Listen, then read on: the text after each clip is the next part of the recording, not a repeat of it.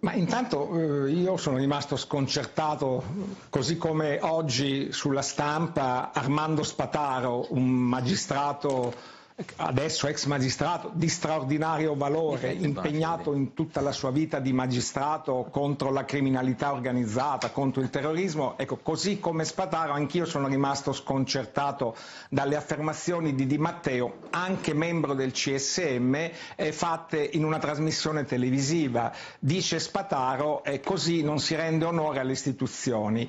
Ma al di là della diciamo, grammatica istituzionale, anch'io penso che Di Matteo meriti non solo rispetto e grande considerazione, io lo ho per tutti i magistrati antimafia, anche se certe modalità del suo agire da magistrato secondo me hanno a volte troppo eh, diciamo, dato spazio alla spettacolarizzazione eh, del, del, dell'azione del magistrato. Eh, ieri una, una persona come Rosanna Scopelliti, figlia del giudice ammazzato, giudice Scopelliti ammazzato dalle mafie, in un'intervista dice che i magistrati debbono praticare sobrietà e umiltà, che è quello che dice anche Spataro. Ma qui c'è un nodo politico, è evidente. Molteni dice, ma perché eh, Bonafede non viene in Parlamento? Bene, è quello che il Partito Democratico ha chiesto. Abbiamo detto venga in Parlamento a partire dalla Commissione antimafia, ma io so che Bonafede aveva già dato la settimana scorsa la disponibilità a venire in antimafia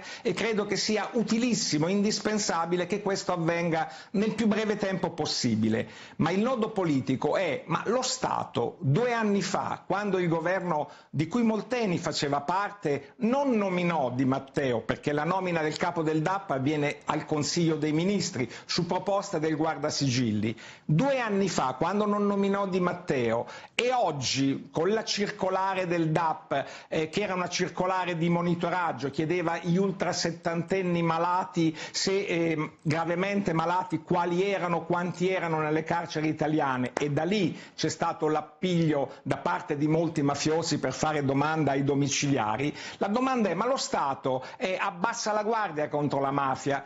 Beh, francamente io a questa domanda do una risposta categorica. Non è così. Non è così. Bonafede ha chiarito i motivi per i quali due anni fa non fu nominato Di Matteo. No, aspetti però, questi non l'abbiamo capiti. No, scusi, scusi, scusi ah, Verini, l'ha chiarito in che modo, scusi?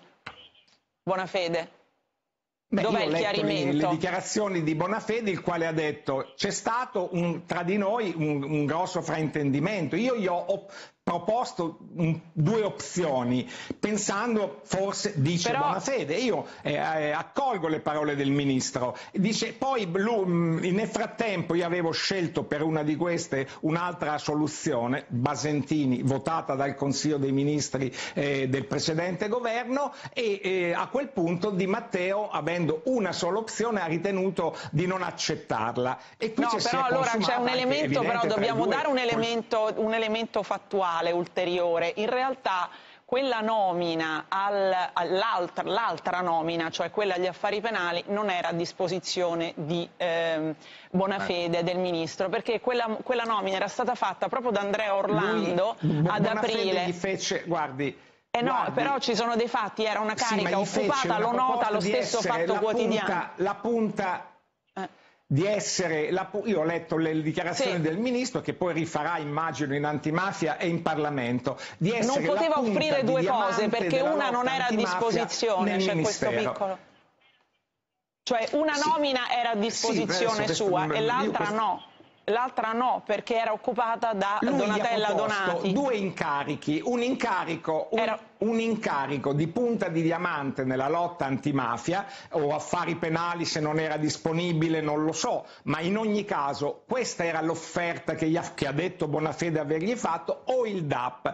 Nel frattempo, ah, tra l'altro aggiungo, Bonafede era già a conoscenza, ma... questo eh, è un, un altro fatto, perché Bonafede incontra Di Matteo il 18 di giugno, ma il 9 giugno il GOM, che è il gruppo operativo della polizia penitenziaria, aveva non intercettato, ma aveva ascoltato nel carcere dell'Aquila conversazioni, urlanzi delle mafiosi al 41 bis preoccupati eh, per eventuale sì, nomina già, di Di Matteo, la, diciamo, questa era già dal 9 la giugno. Difesa, la, la difesa, tra virgolette, conoscenza, sì, esatto.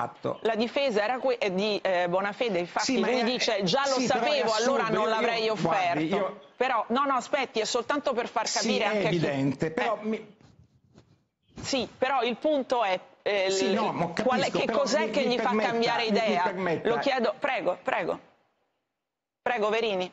Ecco, no, ma io voglio finire però, due anni fa, se, se, il Di Matteo avesse avuto sospetti di una indulgenza nei confronti dei mafiosi, ma per quale motivo aspetta due anni eh non certo. solo a dirlo e non in un eh, talk show, ma a prendere de, de, de, delle iniziative giudiziarie? E seconda cosa, oh, perché no. questa cosa avviene quando dieci giorni, una settimana fa il ministro mette due magistrati antimafia di grande valore penso a Roberto Tartaglia, peraltro molto vicino come collaboratore a Di Matteo, e a eh, Dino Petralia, il, su, sulla cui nomina tutte le forze politiche, il mondo giudiziario ha espresso giudizi favorevoli. Cioè, due, due, segnali eh, molto antimafia, per, anzi se posso dire, se c'è un, una chiaro. critica da fare, che in due ruoli capo e vice forse la politica carceraria non è solo la mafia, bis, certo. ma insomma il segnale è molto chiaro. Quindi lei, quindi allora mi sembra di capire, sospetto. sì, mi sembra di capire, vado da Lirio Abate, benissimo, benissimo è chiaro, mi sembra di capire che Verini dice intanto sbagliata la sede eh, che un magistrato membro del CSM vada in televisione a raccontare questa cosa, questa sua versione, ad accusare in questo modo il Ministro della Giustizia, sul merito per il PD eh, diciamo, ha chiarito la versione di eh, Bonafede che dice che ci ha ripensato, che aveva offerto due cose e che comunque certamente non è stato cedimento alla mafia